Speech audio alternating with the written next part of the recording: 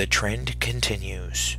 Hey everyone, Templar74 here with another episode of Poke Talk, and today's episode of Poke Talk is going to be my review of the latest episode of Pokemon Pocket Monsters 2019, episode 57, Love is Psyduck. And I gotta be honest with you guys, this is probably gonna be a pretty short review because there wasn't much in this episode, but it's worth noting that lately Koharu's episodes have been some of the better ones we've been getting in my opinion. And I think that's a nice change because once again the very beginning of the series Koharu was like my least favorite character.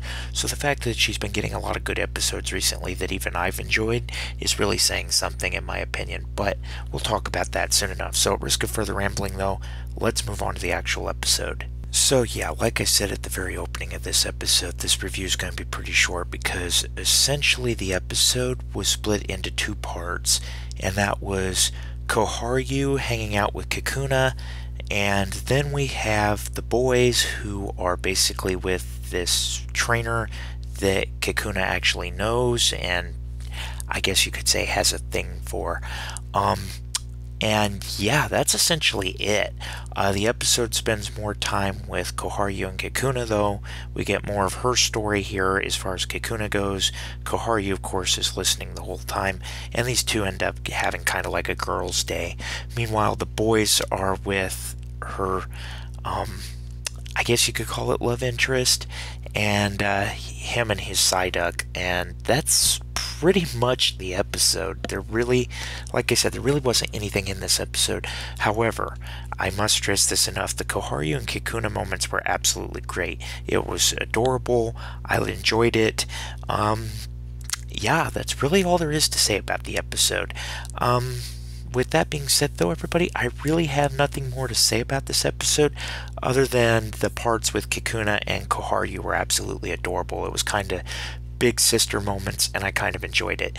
Um, that being said, everybody, this episode I give it a 7 out of 10. Not the best episode ever, but the fact that Koharu's episodes have been some of the better ones recently is saying something in my opinion. But again, those are just my thoughts, and as always, I want to hear yours. So, in the comment section down below, let me know what your guys' thoughts were about this week's episode. Did you love it? Did you hate it? Did you think it was just eh there? What are your thoughts? Just let me know in the comment section down below, because as always, I enjoy hearing from you.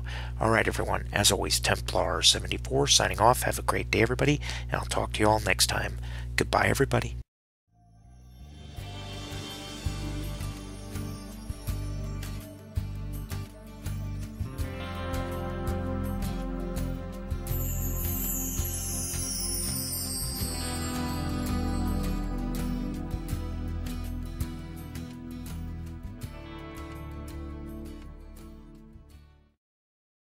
Hey everyone, Templar74 here. Did you enjoy the video? Do you want to help support me in making more content like this and see your name here at the end of every video?